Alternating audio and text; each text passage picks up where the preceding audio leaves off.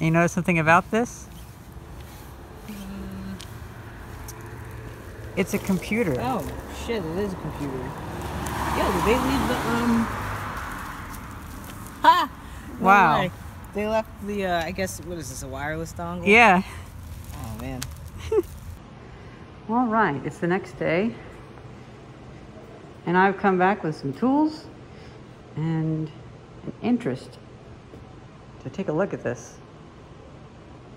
And you know what? I wonder if the screen might still be good. I wonder if this is the touch panel because I look back there and I don't see as much damage on the actual LCD. So, well, let's look at it first. First off, Theiss found this, which I don't know what it is. It's either, oh, you know, we do have some information there. Is it Wi-Fi or is it a mouse? Hmm, hard to read. Made by HP though. Looks like it's a mouse. You know, these are very useful because if you're using Parsec to remote into a headless machine, it still wants to have a mouse. It Windows doesn't handle not having a mouse very well.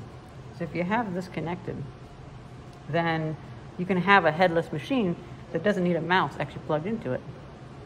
So that is useful. And then, what is this that we have? I have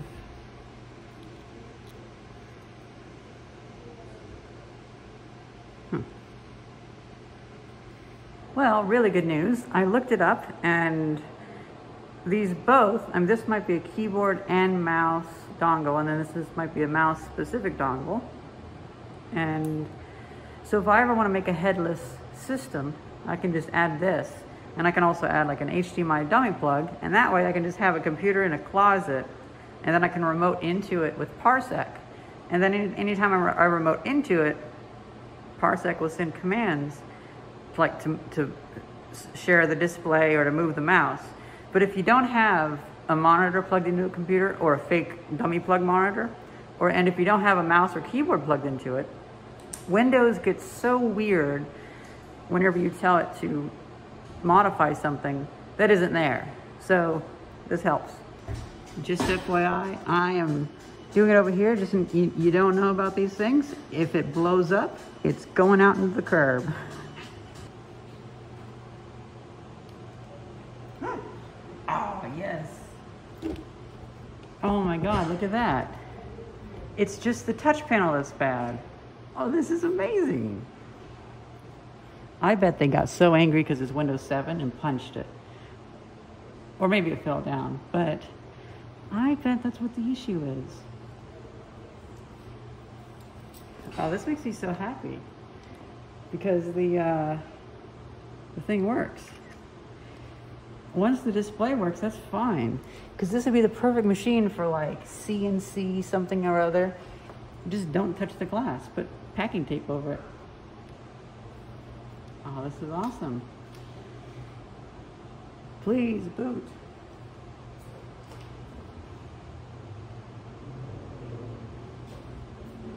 I check the hard drive sounds because I hear some. Okay. So we just got normal hard drive sound. It's not clicking or anything. It's just doing the normal seeking. So just let it run. Look at this. They haven't even removed the stickers.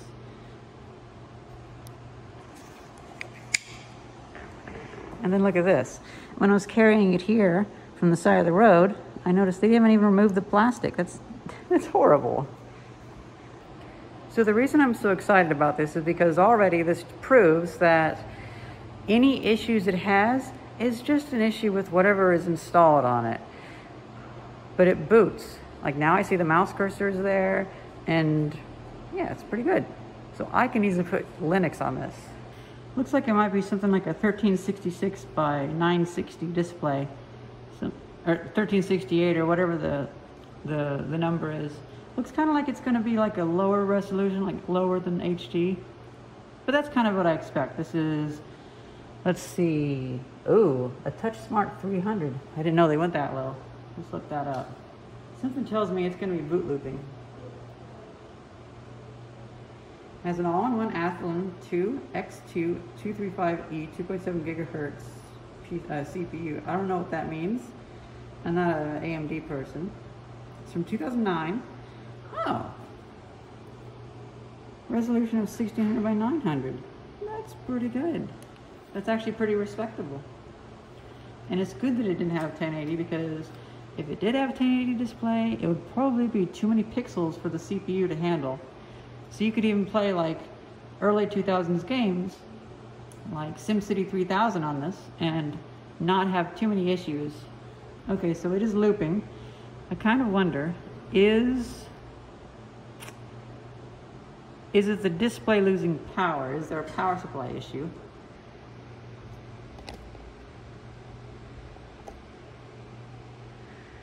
It might be doing one of those things where it has to do like a really complicated disk check. Like, is the mouse going away when it's blacking?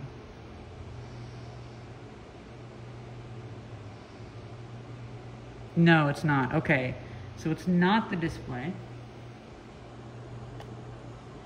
Okay, so it's just an issue with Windows and we all know how Windows, especially on computers of unknown origin, Windows just gets messed up so much.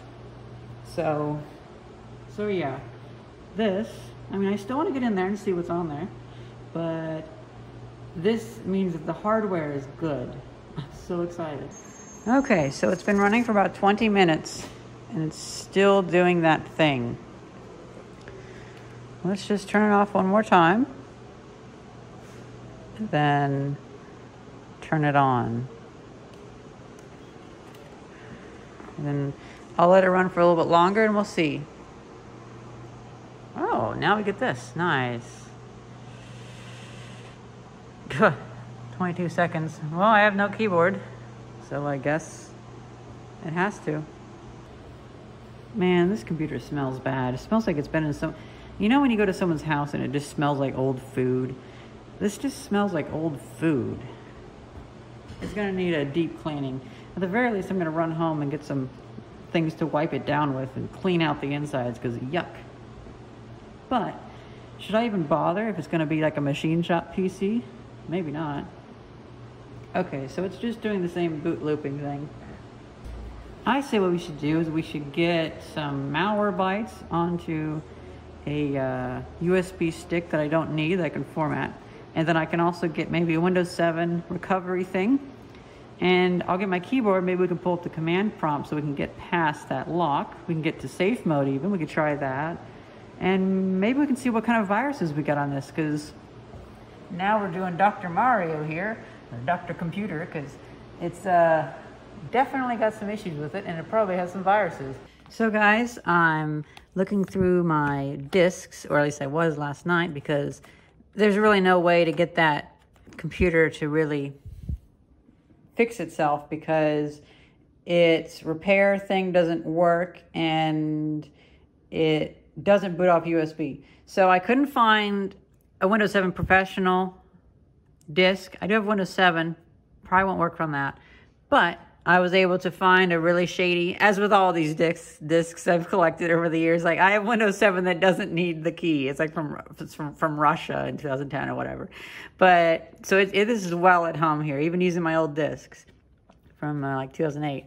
But I burned a CDR, Windows 7 repair CD. No idea, just came from a random website. But you know what? Like you can't go wrong with a computer found on the side of the road. You really can't. And plus, I like using CDs on those because viruses don't get stuck on the CDs.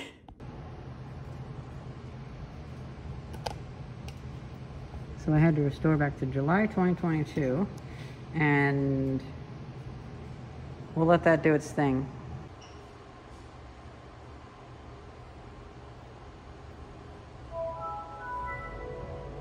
Whoa, it, I don't think it made the sound before. ha! It did restore it. Oh my God, guys. Like, so that person, they have their name, it's their last name. And because of that, and because I know where the house I know like what, well actually I only have to pick the state. I'm gonna blur this out because I was able to find where she lives, where she moved to, her eight relatives, and her three email addresses dating back to the 1990s. It's a little creepy when you can pull up that much information on somebody.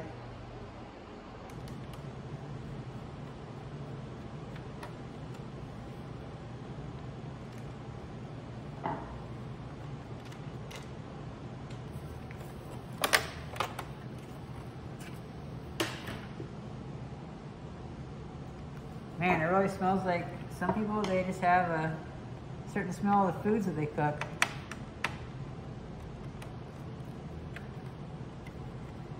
Smells like a lot of my friends' homes.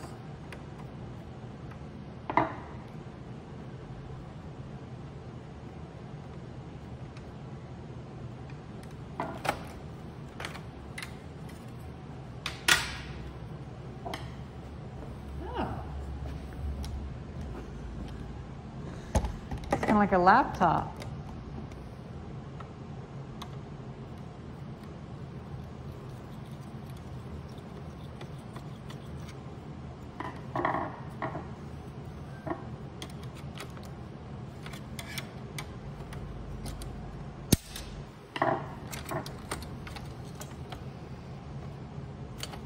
Well, Western Digital, a good brand. Clearly, I'd go with an open source option. This person didn't know, like, they had like cracked 2007 Microsoft Office and stuff like that. Like, there are open source alternatives. Yeah, they are. They are. Um, there were pirated films, like here. You want to take this? There were pirated films, but they were all those like really shitty early ones where it's like just a camera in the theater. He didn't actually get any of the ones that Oh are like good. So it's like God, the- come the what? There's nothing good here. He could have. He could have sailed the high seas. I know. Like, and they were like YIFY torrents or whatever the term is.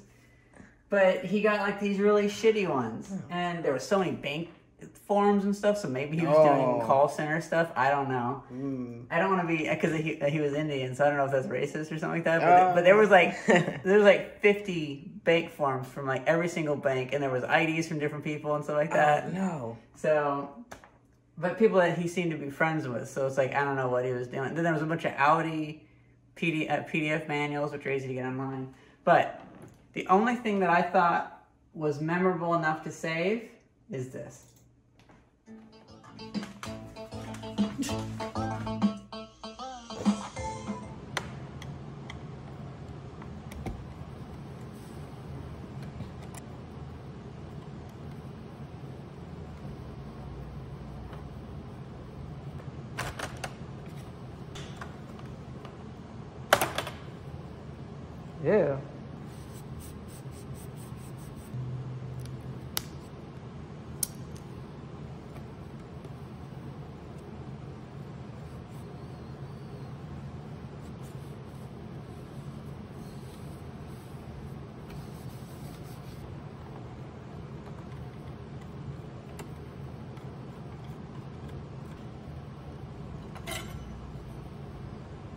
so much black stuff in this. Like, maybe there were smokers or something.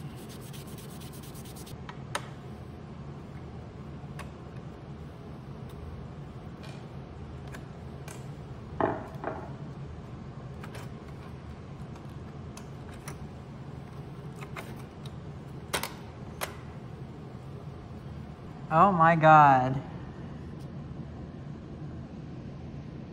Look at that. That is disgusting.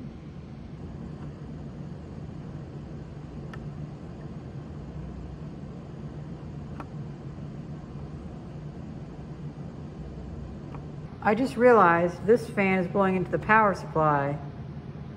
What does it look like in there? Oh, I'm not, I'm, I'm dreading this. I'm really dreading this. Well, I might as well pull this off.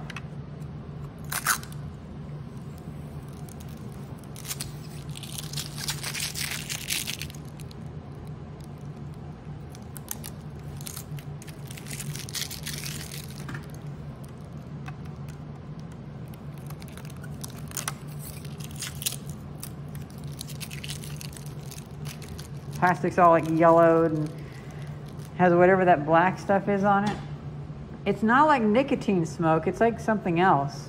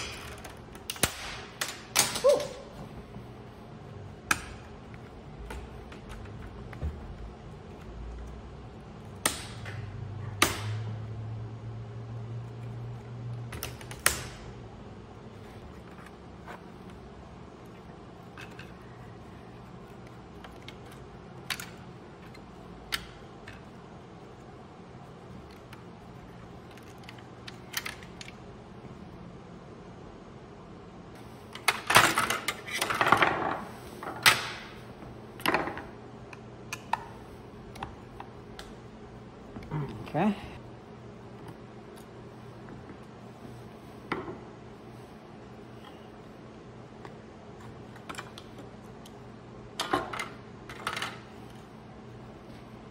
You know what? It's not as bad.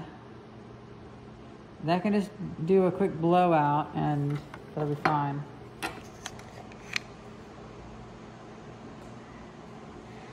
God damn, what a mess. What an absolute mess. I expect to come back in on Monday and all these parts are like on the floor. but oh well. It still works amazingly. And even the touchscreen works. I just need to get like they build it like they build it laying down, they add all the stuff on top. So in order to get rid of the glass in the front I have to take everything off to get because they don't want any screws in the front. That's how they always are. That was the first piece in, probably. Yeah.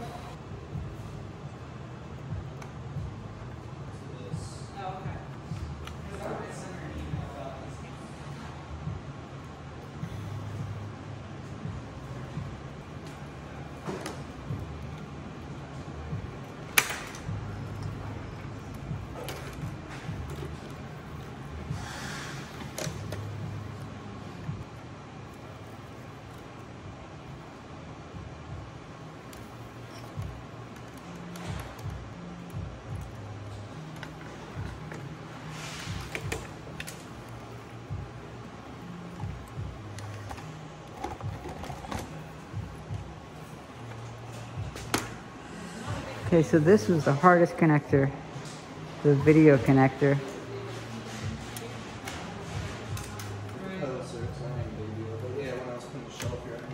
poster,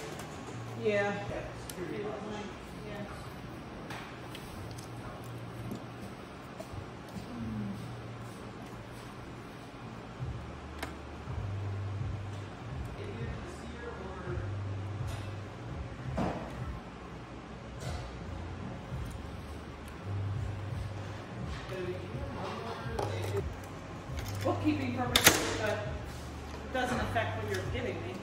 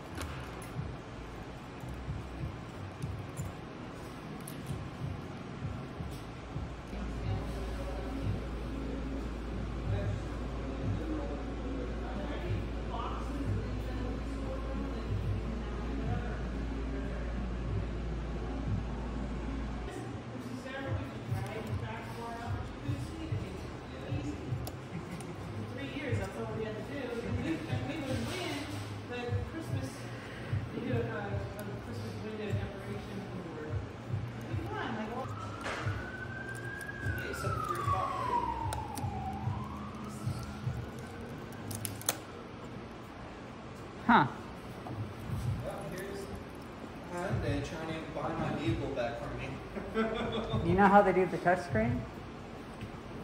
They, How? they have two cameras and they detect where your finger is. That's how they do touch screen? No wonder it's so garbage. Oh. So I can just replace it with a piece of plastic glass and I'll fix the touchscreen. So it's not really a real touch screen then, right? Yeah, it's just a piece of glass. No wonder it still works. I was like, how can it be cracked and still work? Apparently there's an air gap behind it.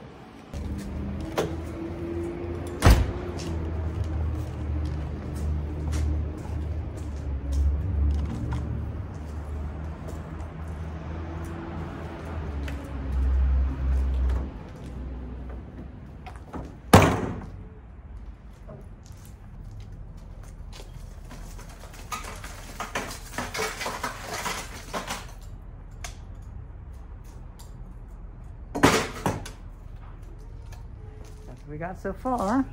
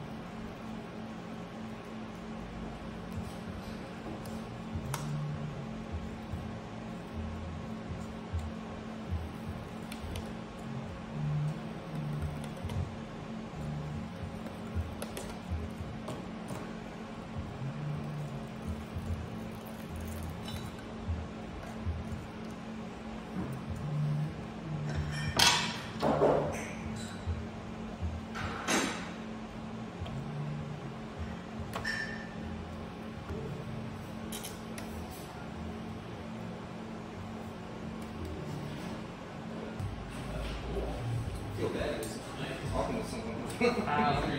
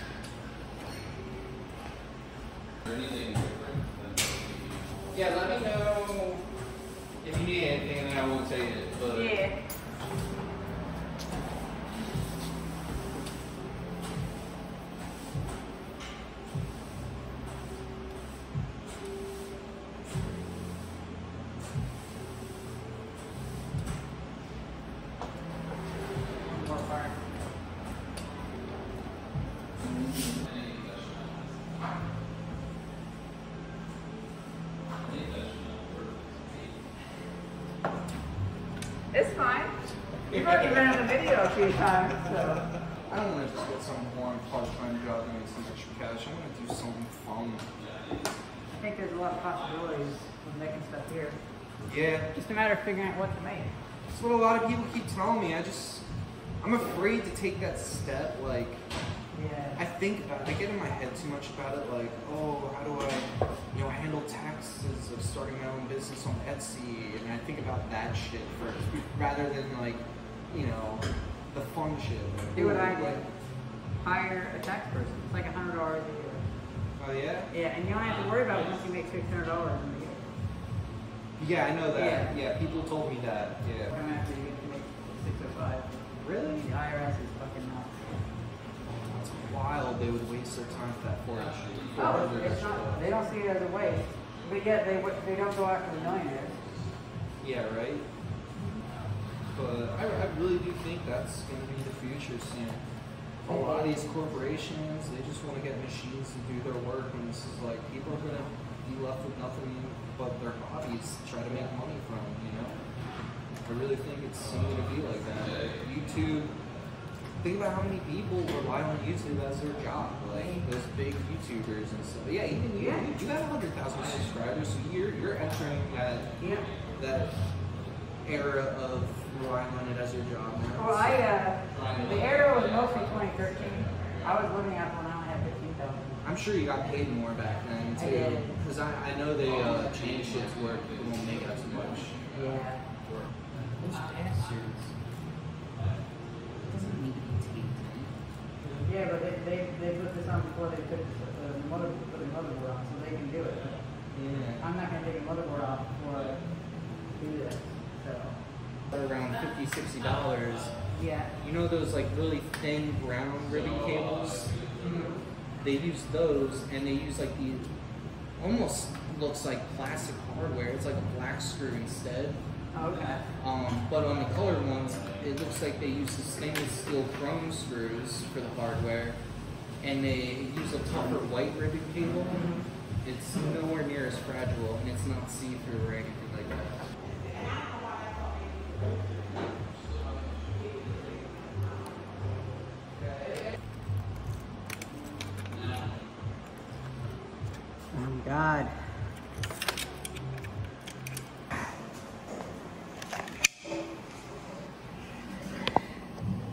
Entire connector just fell apart. Like, seriously. Oh god. So I jammed it back in there and uh, I had to lift it up with another screwdriver. Right, I forgot to screw these down. Now to push it back together. I bet that connector's only gonna fit in there one more time, and then this panel's toast.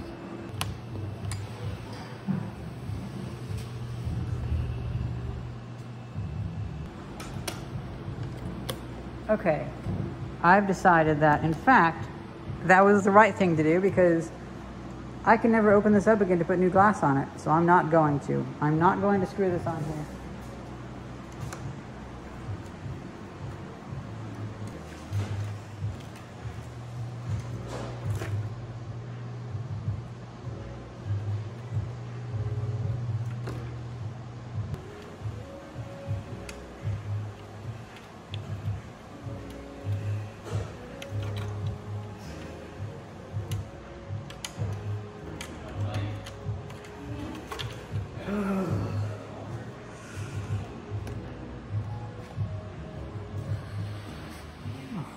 Machine this is. A horrible, absolute horrible machine.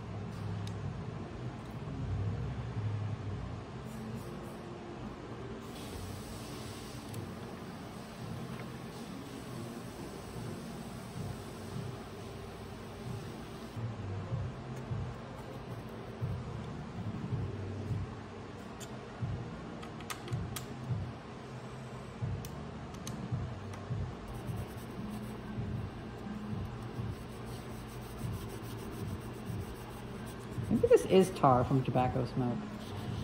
That's gross, whatever it is.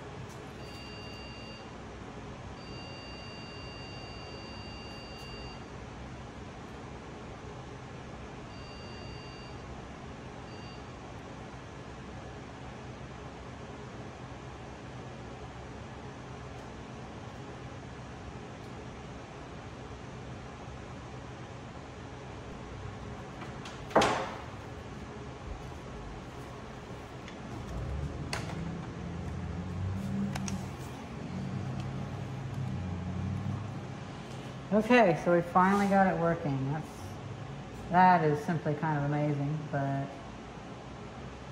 oh.